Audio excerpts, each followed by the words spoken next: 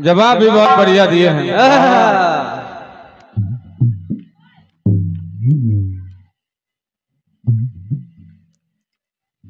एक अच्छी बात देखने को मिली है आज। कौन सी? लालमन जी में। वो तो हमेशा मिलती है। नहीं नहीं। तब के लाल मन में और अब के लाल मन में बहुत बड़ा फ़र्क है। हैं? ये कैसे? तब के लाल मन ये थे। अब? लेकिन आज वाह जो आप प्रस्तुति दे रहे हैं क्या बात है? भले ही जवाब क्या आ रहे हैं इससे मतलब नहीं है। लेकिन लालमन जी आपकी वाणी में आज लोच दिख रहा है। क्या बात है? सत्य बात। वाह। अच्छे कलाकार की पहचान यही है गुरु गीत बढ़िया दिया। कटपीस भी बढ़िया दिया है हाँ। जवाब जो आपने दिया है हाँ। वो हमारे समझ में नहीं आया है हाँ। इन लोगों के समझ में आया हो तो ये जाने जब हमारे समझ में नहीं आया तब उसको ना अच्छा कह सकते ना बुरा कह सकते।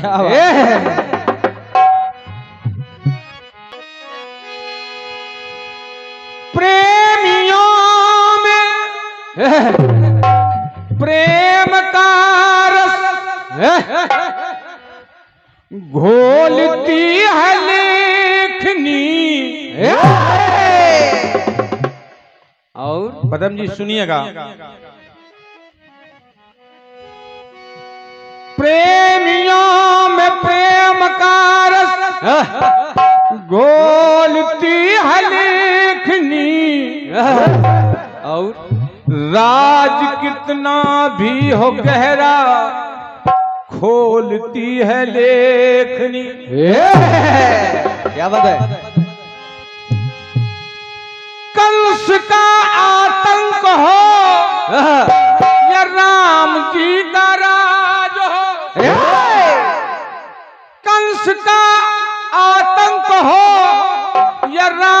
जी का राज हो।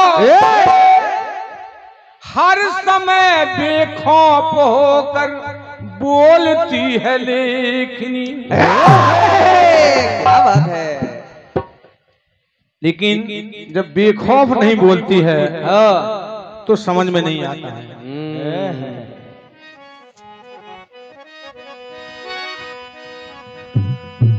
लालमा जी मेरे समझ में नहीं आया कि आपने क्या जवाब दिया है। क्या कह दूँ? लेकिन भैया कह रहे थे कुछ ना कहो। महेश जी कि सुलझे गीत गाइए। मेरी समझ में नहीं आया कि इसमें कठिन क्या था। इसमें उलझा क्या था। हाँ।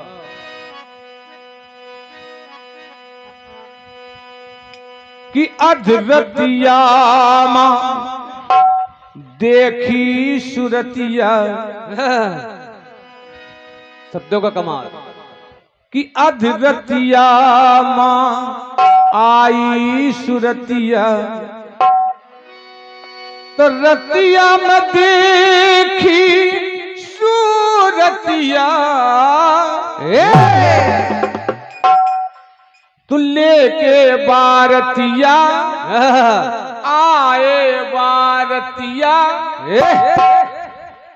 तो सोने सी भैरतिया अब क्या नहीं समझ में आया?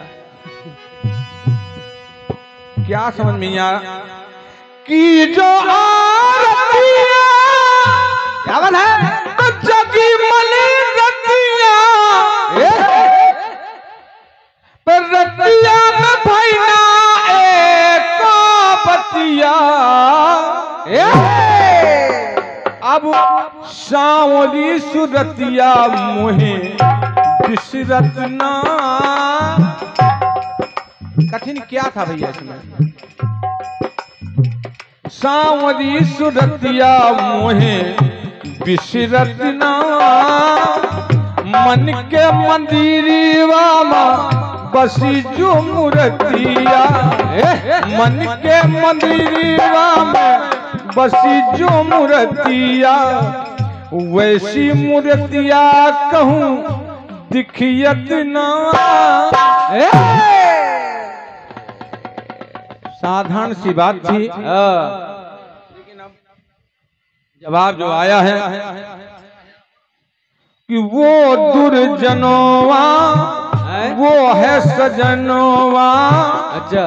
जनवा माँ आए मोरे सजनवा। जनवा माँ। क्या क्या मतलब जनवा में आए सजनवा? सकली भजनवा सफल पूजनवा। मानो मिला मोहे सजनवा। अच्छा। और करके जननवा अच्छा। हुआ रजनवा। जनवा माँ भाई मैं जनवा पता नहीं क्या अर्थ है मैं समझ नहीं पा रहा हूँ भैया। इसलिए आपको धन्यवाद देता हूँ बस, बस, आपने जो जवाब दिया वो धन्यवाद की बात है आपसे। क्या बात है। चलो आगे छोड़ो गुरु।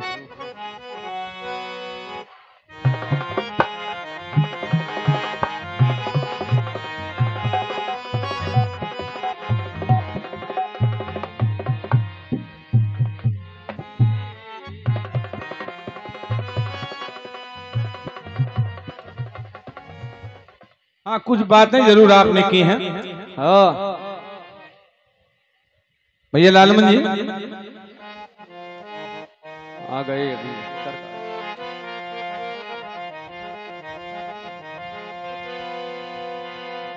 कन्हैया।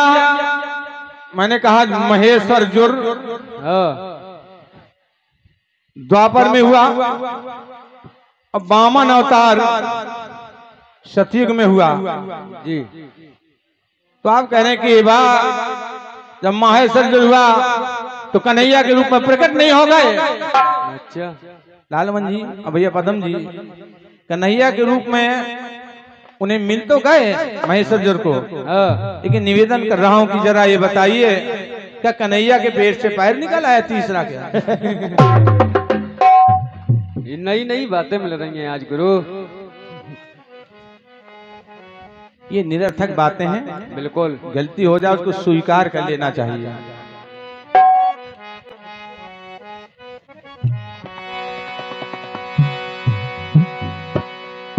तमाम बातें और कर दी हैं आपने।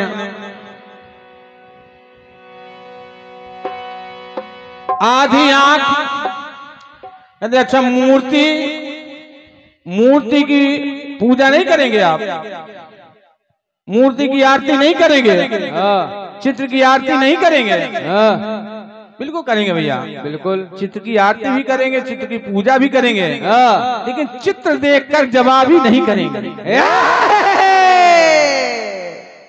बस फ़ोटो का कमाल है गुरु आज। चित्र देखकर जवाब ही नहीं होती लालमन भैया। ना जवाबी पढ़कर ही होती है। अगर आपने कहीं पढ़ा है कि अर्धनारेश्वर भगवान के डेढ़ आँख थी तो मुझको दिखाई मैं आपको पुरस्कार दूँगा।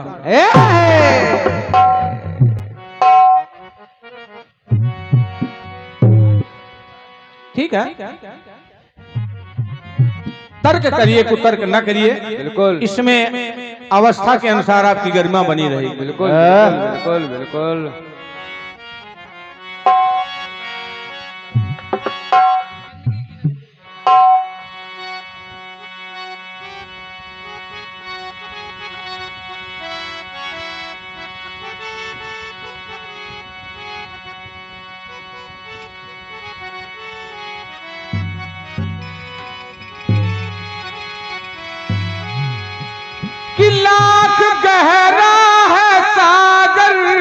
क्या।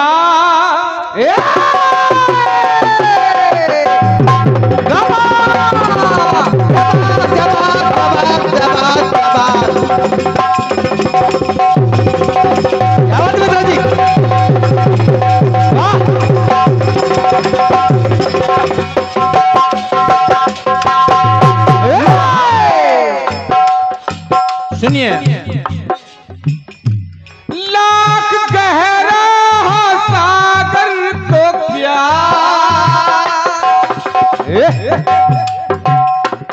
प्रेम से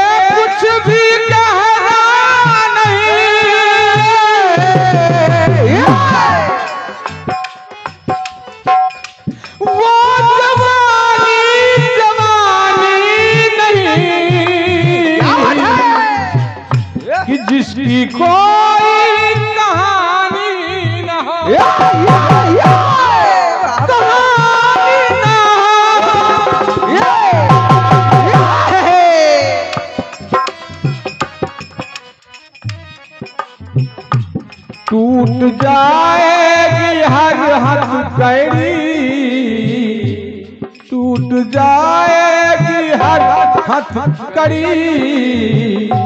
प्यार कर ले, हो प्यार कर ले, घड़ी दो घड़ी। ज़िंदगी ना टूटे नहीं। प्यार कर ले।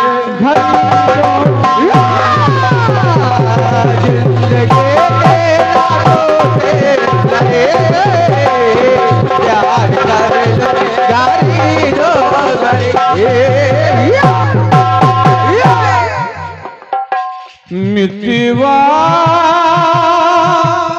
तेरे बिना क्या बात है? लागे ना जियरा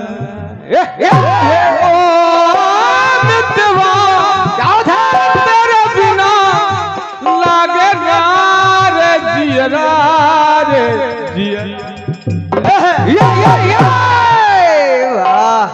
आज ध्वनि के गाने पर हमारे अशोक भैया त्रिवेदी जी अशोक अटल जी की ओर से ये एक से एक मुद्राएँ भेंट हुई हैं। बहुत सुंदर।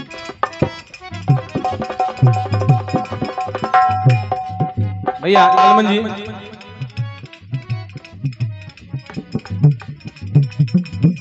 कि जिसकी पत्नी हो रत्नावली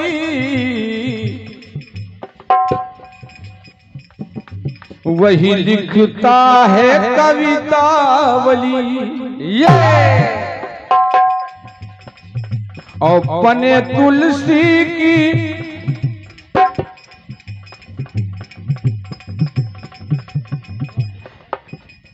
बने तुलसी तो जीवन में तो आए जीवन में दीपावली। वही लिखता है कवितावली। भैया अगर पत्नी रत्नावली नहीं है।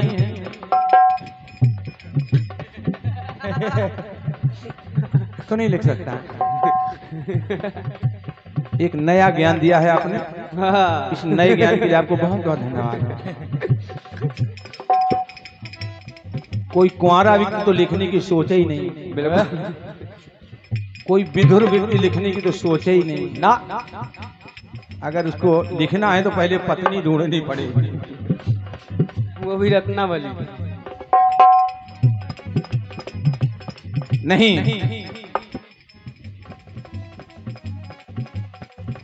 केवल कवितावली और दोहावली वर्ग नहीं है उनके उनके बारह चौदह ग्रंथ हैं। रामचरितमानस बरवय रामायण। जानकी मंगल, पार्वती मंगल। जब आप सुनिएगा लालमन जी, आपके हृदय को छू जाए तो मैं बड़ा भाई हूँ।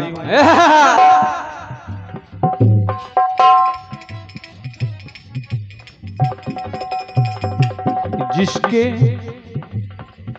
कि जिसकी नज़रों में मंगल दिखे।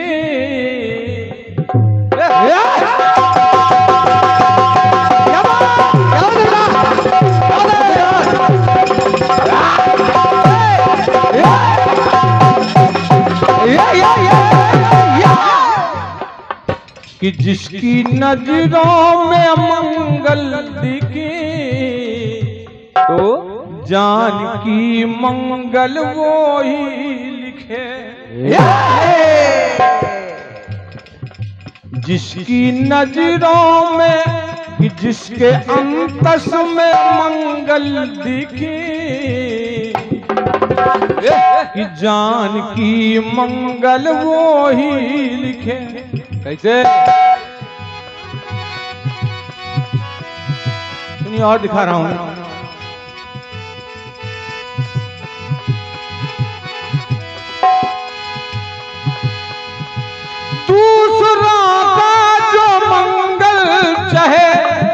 होता उसका अमंगल नहीं।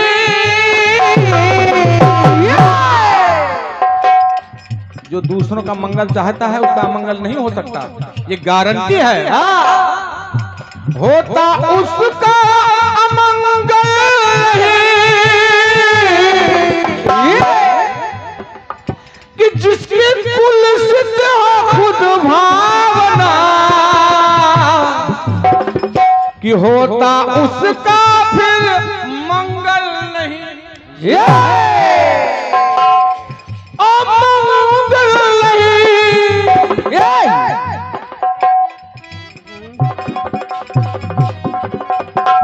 क्योंकि ये भावना कि मंगल सोच में जिसकी मंगल दिखे सोच में जिसकी मंगल दिखे। ज़बरदस्ती में दीपावली लगाए क्यों? हाँ। दीपावली का दोहावली से क्या मतलब है? क्या बात है? ये लगाना था तो आप दोहावली फिर कवितावली ये लेके आते। हैं हाँ। कि सोच में जिसकी मंगल दिखे पार्वती मंगल वो ही लिखे। कि जिसके अंतस में हाँ जिसके अंतस में मंगल दिखे। जान की मंगल वो ही जिसके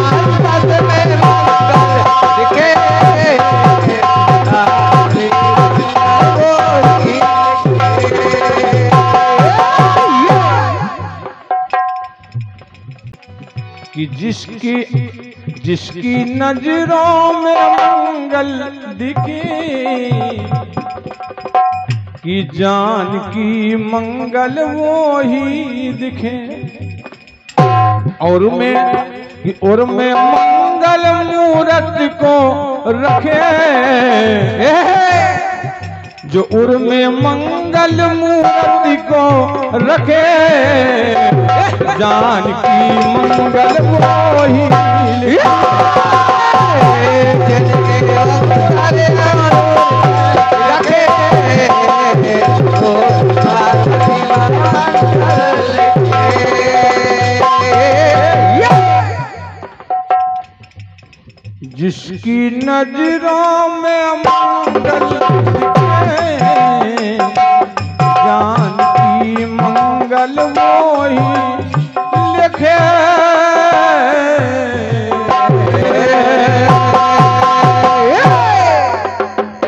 था आपके गीत का कटपीस का जवाब।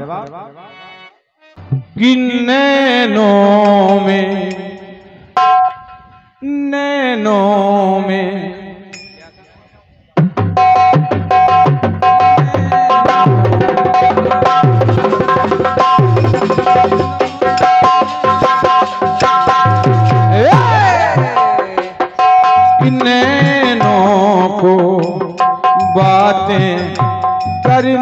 दो नैनों को होठों से जो ना कह पाए होठों से जो ना कह पाए खामोशी को कहने दो लालमन जी आपने अपने घर का गीत गाया है और रिकॉर्ड से जरा मिला के देखना किन्ने को बातें करने दो नैनों को ए!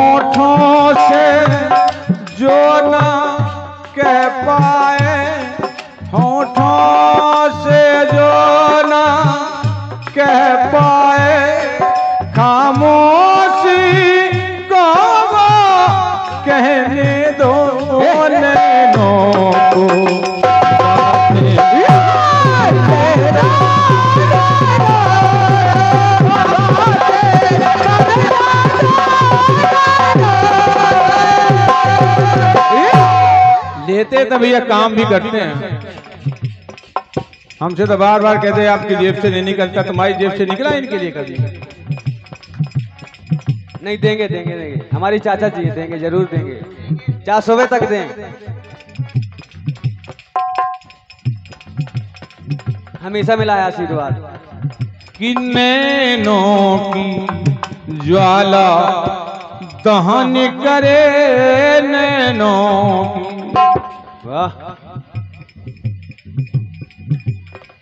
और नैनों का पानी सृजन करे नैनों का जब आप सुनिए लाल मंदिर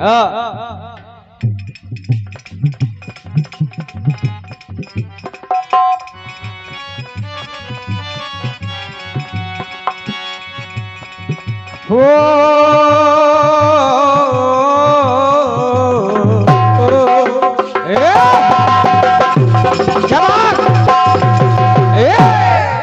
अंग ले रहा हूँ आप लीजिए नैनो।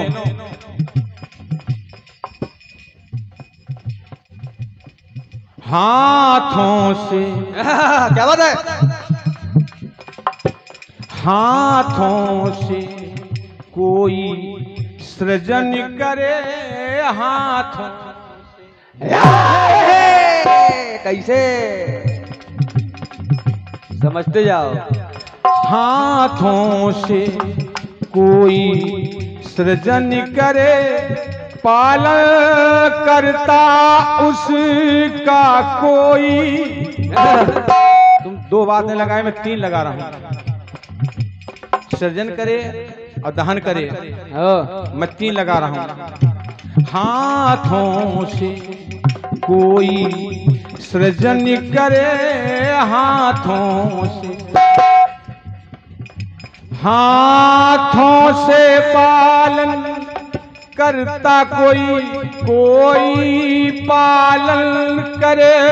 हाथों से और हाथों से कोई दमन करे। क्या बात है? हाथों से कोई दमन करे। हाथों से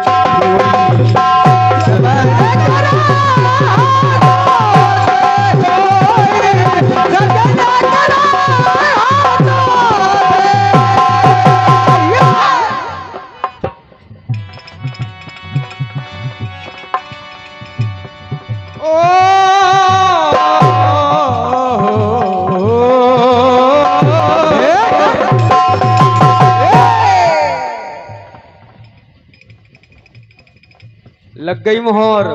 अनूप स्वरूप संकीर्तन मंडल, लग गई मोहर। ज्ञान गुरु, श्रद्धे दादा जवाहरलाल जिद्दी जी आपकी ओर से इन जवाब पंक्तियों पर एक से मुद्राएँ आई हैं। भैया आदरणीय कीर्तनकार महोदय जी को, और खासतौर से आपने ऐसा नाम लिया है, जिनका आशीर्वाद सबसे पहले मुझको प्राप्त हुआ था। दादा जी से पहले भी।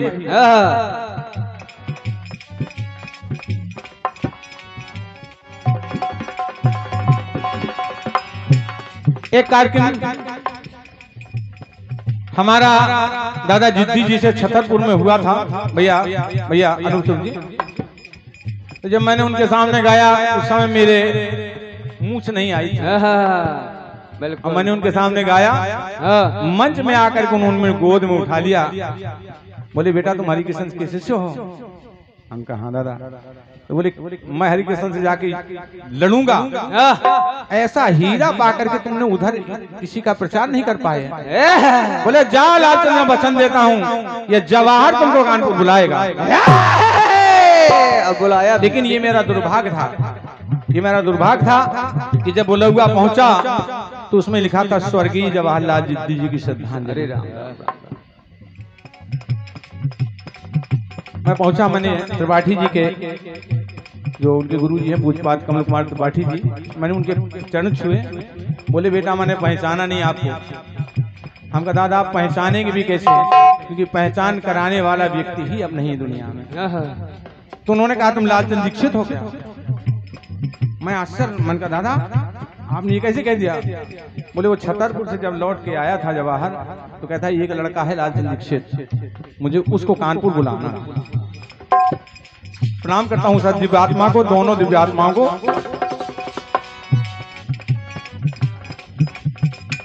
कि हाथों से कोई सृजन करे, हाथों से कोई हाथों से पाल रहा?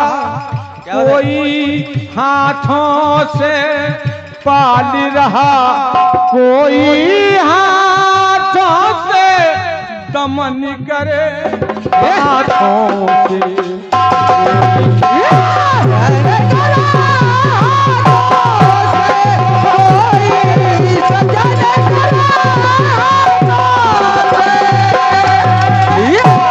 सुनिएगा।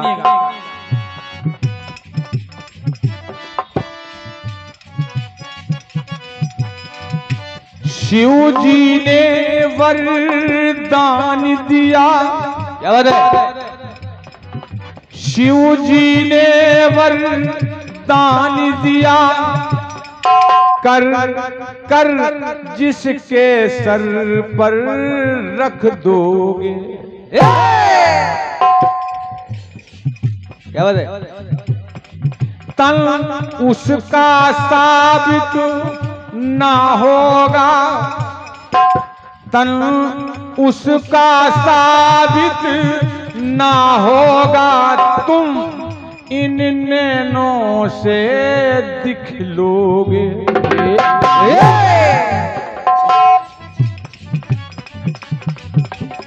देखिए वरदान दे दिया तो भगवान शिव के सर पे हाथ रखने के लिए तैयार हो गया। कि भाग, भाव देख कर शिव जी भागे। है भाव देख कर शिव जी आगे। भाव देख कर शिव जी भागे। श्री हरि मिल गए उसको श्री हरि मिल गए उसको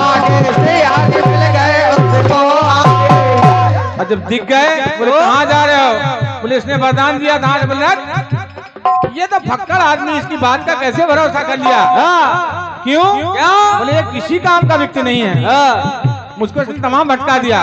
इसकी बात भरोसा मत कर। अरे नहीं रुस्सा तो हाथ रख के दे। हाँ? और उसने जैसे ही हाथ रखा भाव देख कर शिव जी भागे, भाव देख कर शिव जी भागे, उनको श्री हरि मिल गए आगे। श्री मिल गए श्री मिल गए आगे। कि उसके हाथों ही दमन करे। अरे! उसका, उसके हाथों से ही दमन करे हाथों से। कोई सृजन करे, कोई पालन करता है तो कोई पालन करता है तो उसका कोई भी दमन करे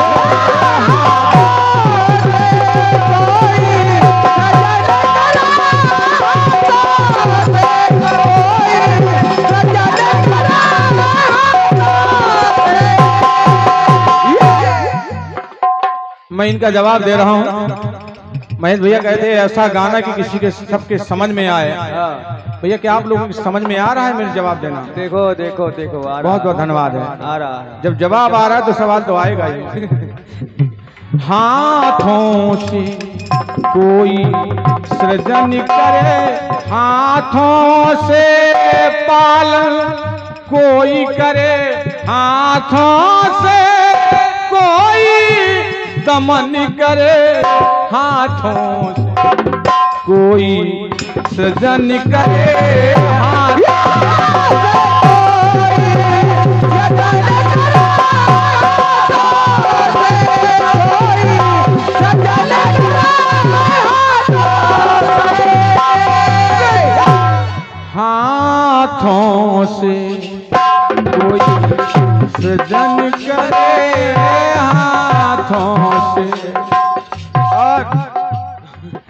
भैया भैया भैया। हाँ। भैया लालमन जी एक और देखेगा हाँ। एक वीडियो देखेगा हाँ, ऑडियो वीडियो दोनों देखो। कि हाथों से कोई हाथों से शत्रुता कोई करे। हाँ, बिल्कुल सत्य बात। हाथों से शत्रुता कोई करे हाथों से कोई नमन करे। क्या बात है?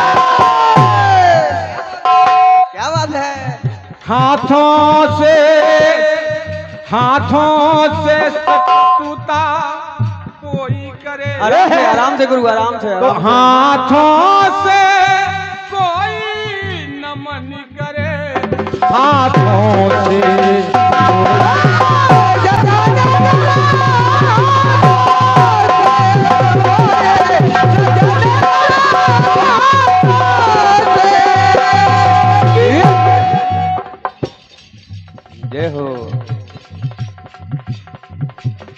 भैया श्री रामचंद्र कुशवाहा जी आपकी ओर से बहुमूल माला है हाँ। और एक से मुद्राएँ हैं। बिल्कुल। आपको बहुत बहुत धन्यवाद है इस दान के लिए। क्यों? लेकिन सबसे बड़ा आप जो कर रहे हैं ये दान नहीं। हाँ। इस समय आप पूरे उत्तर प्रदेश में घूमकर जीवन दान कर रहे हैं। हाँ हाँ बिल्कुल सत्य बात इनके पास कोई ऐसी जड़ी बूटी इनको उपलब्ध हो गई है, जो कैंसर से राहत दिला रही है।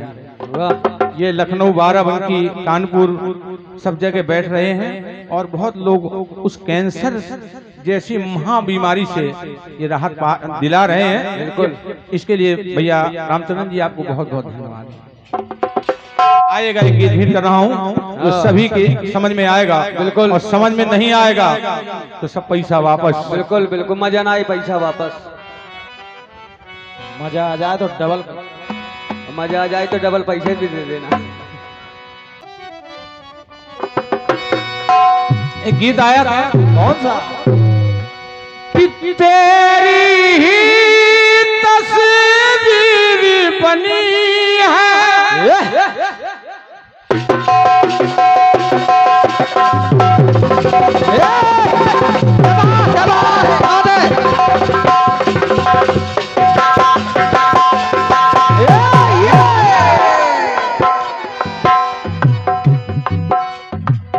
लालमन मनी इस गीत को हमसे अच्छा गाएँगे हमें विश्वास है।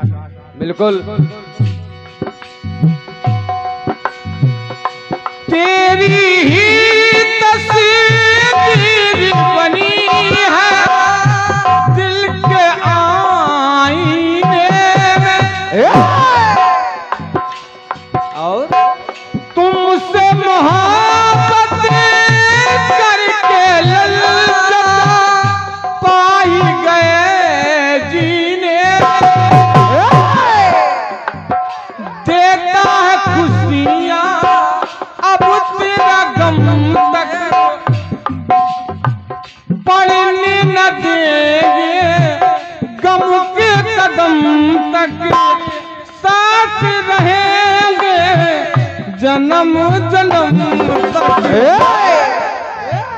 छोड़ेंगे ना।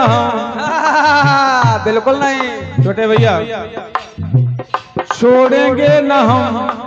तेरा साथ भैया मरते दम। मरते दम नहीं।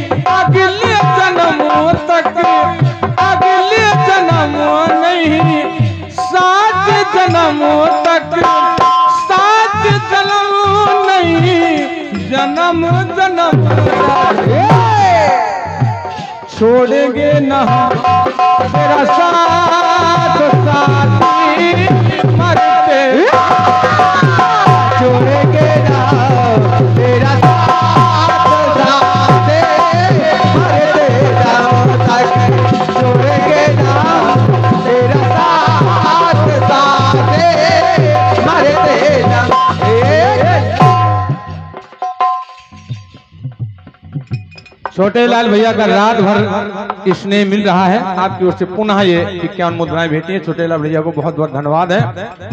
बस मैं चाहता हूँ कि सारे कीर्तन प्रेमी जन कीर्तन कारगण इस गीत को गाते रहें एक दूसरे के लिए। छोड़ेंगे न हम तेरा साथ, साथी मरते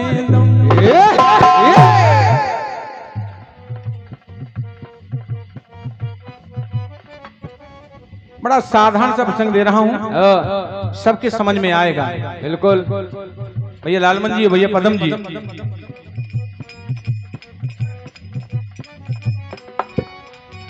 एक बार गुरु वशिष्ठ ने महाराज दशरथ को बुलाया। कहा महाराज अब तुम्हारे राज का विनाश होने का समय आ गया विनाश? हाँ। भैया राम बिनु भैया। विनाश कैसे मैंने ऐसा क्या कर दिया बोले आपने ऐसा नहीं कर दिया कोई ऐसा करने वाला है हाँ। कौन कौन का शनिदेव शनिदेव अपनी चाल चलते आ रहे हैं रोहिणी सकट भेदन हो रहा है। और जिस दिन रोहिणी सकट भेदन हो जाएगा बारह वर्ष के लिए अकाल पड़ जाएगा सारा राज नष्ट हो जाएगा! कहा गुरुदेव इसका कोई उपाय? उपाय कुछ नहीं है। तो बोले महाराज मैं अपने राज को नष्ट होने नहीं दूँगा। कुछ तो होगा। बोले हाँ अगर शनि देव मान जाए सकट भेदन न करें तो हो सकता है तो बोले मैं जा रहा हूँ। दशरथ जी शनि देव जी के पास चल पड़े।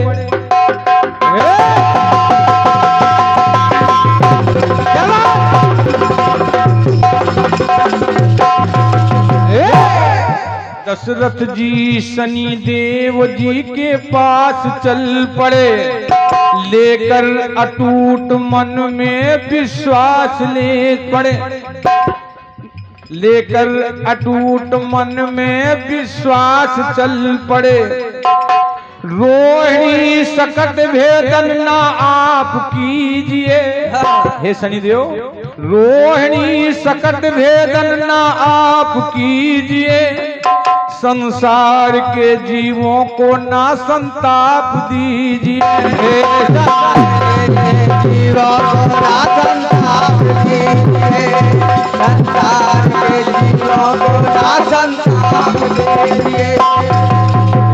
बोलिए तो नियम है, प्रकृति का नियम है नियम कभी नहीं बदलेगा, महाराज दशरथ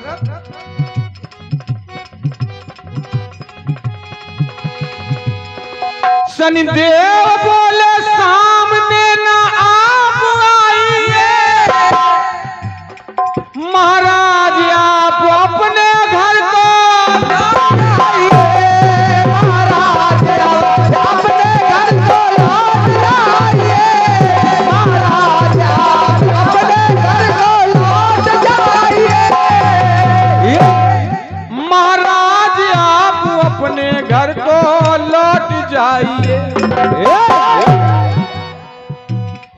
महाराज, घर को लौट जाएँ, ऐसा कभी हो नहीं सकता, शनिदेव।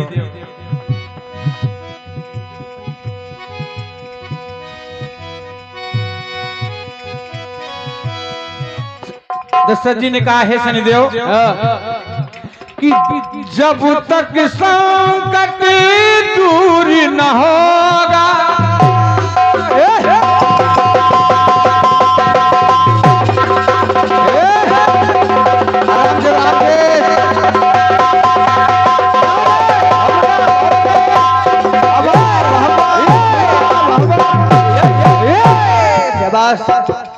भैया आदित्य भैया जवाब तो हो जाएगी सुनिएगा जरा।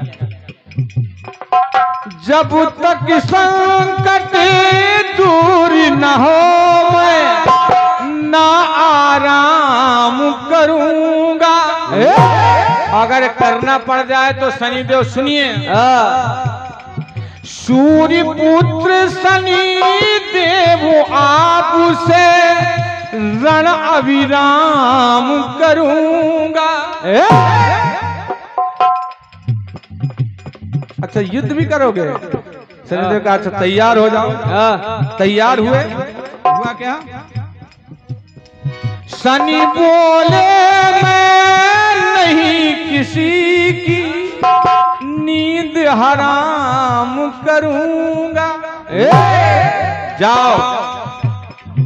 कभी सकट भेदन नहीं होगा। युद्ध विराम करूँगा। मैं तुम्हारी आस्था देखकर खुश हो गया दशरथ। युद्ध विराम करूँगा। और एक साथ एक और तुम्हें वरदान दे रहा हूँ। कैसा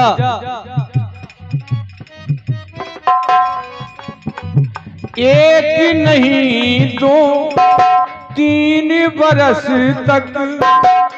क्या बात तीन नहीं दो चार बरस तक। चार नहीं दस पाँच बरस तक। राजा द्रोणी सकट भेदन के कारण बारह वर्ष का काल पड़ता है। हाँ। जा मैं तुझे वचन दे रहा हूँ। चार नहीं दस पाँच बरस तक। अब होगा नहीं संताप आज से बारह बरस तक।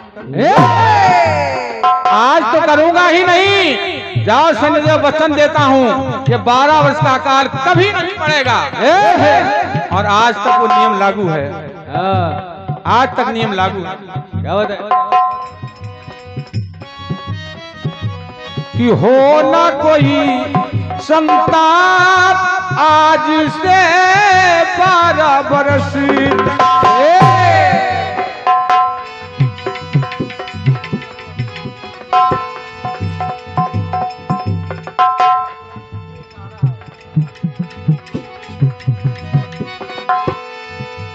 कह रहे, थोड़ा और बढ़ा लीजिए, हमका बढ़ा देते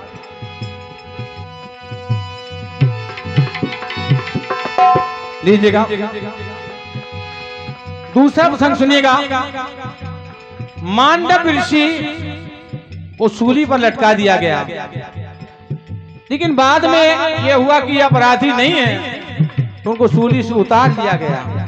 उन्होंने यमराज से जाकर वो यमराज भी सूर्य के पुत्र ही हैं। हाँ। यमराज से सवाल किया मांडव ने कि महाराज ऐसा मैंने कौन सा कर्म किया था जिसके कारण मुझे कई महीनों तक सूली पर लटकाया गया यमराज ने कहा कि, हे महर्षि, सुनिए। कि जीव जगत के जान सकेगा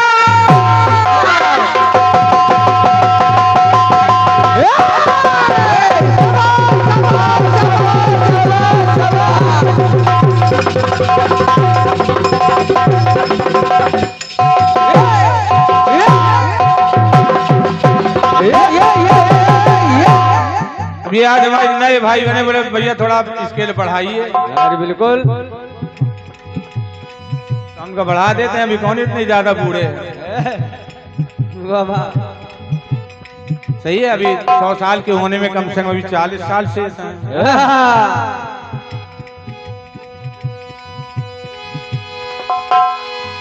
जीव जगत के जान सकेला। कुछ भी राज तुम्हारा। क्या बात है? फिर? फिर? नीति पूर्ण यम लोक में चलता। अभय स्वराज तुम्हारा।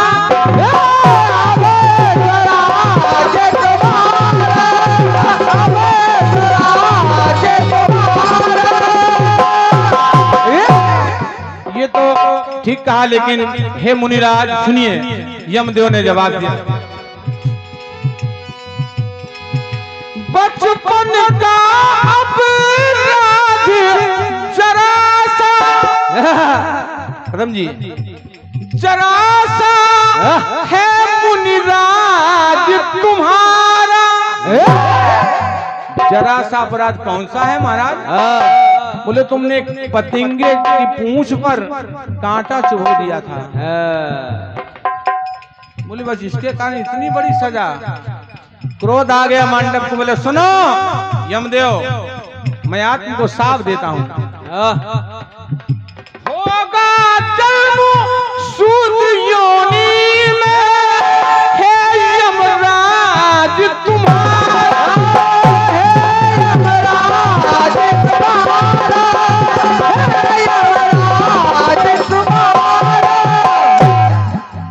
और उस सांप के कारण उनको विदुर बन के आना पड़ा। हाँ, लेकिन सांप तो दे दिया। बोले आज से एक नियम बनाता हूँ। सुनो यमराज। लोग तुम्हारा नियम मेरा। है? नियम क्या बना? क्या?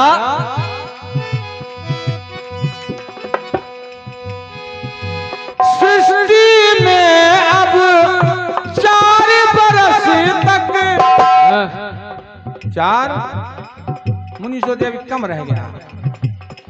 चार नहीं फिर आठ बरस तक। बोले अभी आठ में भी संतोष नहीं है।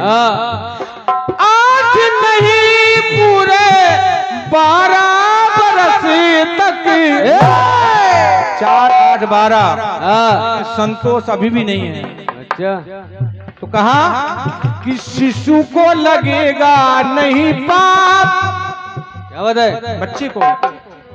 शिशु को लगेगा नहीं पाप। जन्म से चौदह बरस तक। आज भी नियम लागू है चौदह वर्ष के बालक को हाँ, पाप नहीं लगता है। बिल्कुल। न्यायालय भी माफ़ करती है।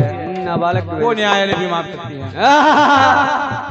शिशु को लगेगा नहीं जन्म से चौदह वर्ष।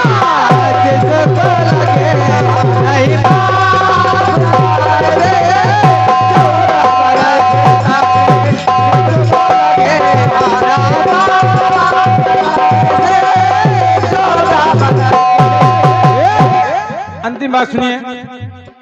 पिपलाद, जो महर्षि दधीच के पुत्र थे, उन्होंने जाकर के शनि देव से पूछा कि, हे शनि देव आप तो न्याय के देवता हैं।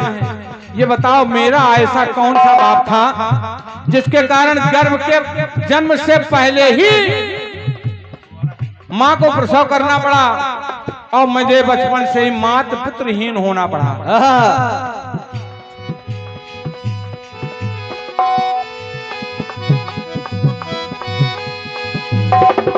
शनिदेव ने कहा है। मात पिता बचपन में छूटे इसका क्या था कारण? अच्छा? अच्छा। हर मन नौ महीने धारण करती है बच्चे को लेकिन नौ महीने भी गर्भ में मुझको मान किया नहीं था।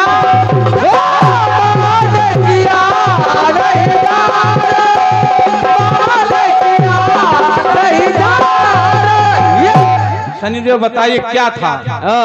शनिदेव ने जवाब दिया का सुनिए। सूर्य पुत्र शनि बोले कर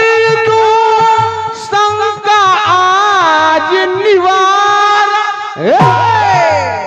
कैसे? कैसे? साढ़े साती दशा का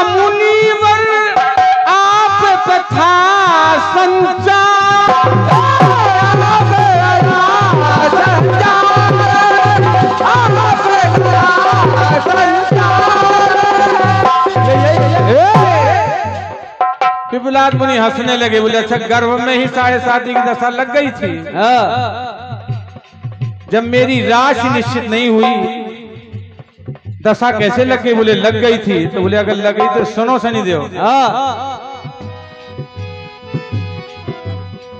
कि आज से साढ़े सात बरस तक क्या बात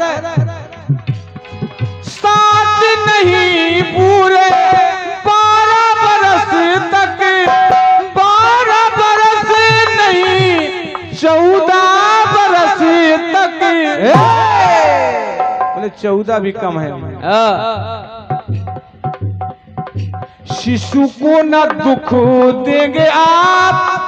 है? आज से सीमा निर्धारित करता हूँ। शिशु को न दुख देंगे आप। जन्म से सोलह वर्ष तक। बारह वर्ष तक। चौदह वर्ष तक। सोलह वर्ष तक। समझे भैया शिशु को न दुख देंगे आप जन्मों से सोलह वर्ष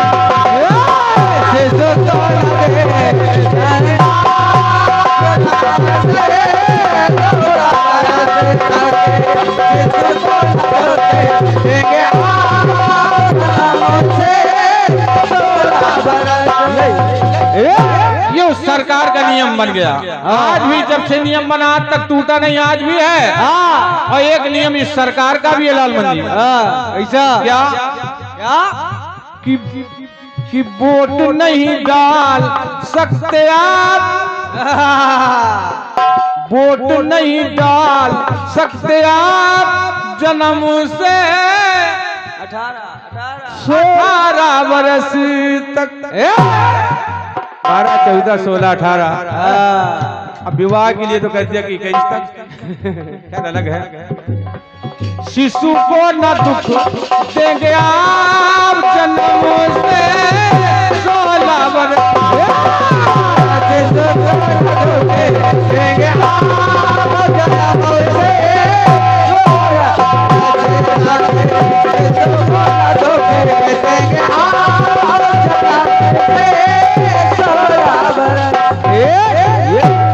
बार प्रेम से बोलिए दुर्गा माता की जय हो। कमला माता की जय हो। भैया समझ में आया आप लोगों के? आया है? बहुत बहुत आया। हमारे महेश भैया कहते हैं ऐसा गाना दीक्षित जी की सबके समझ में आ जाए। उनका प्रयास यही करेंगे साधुवाद धन्यवाद। है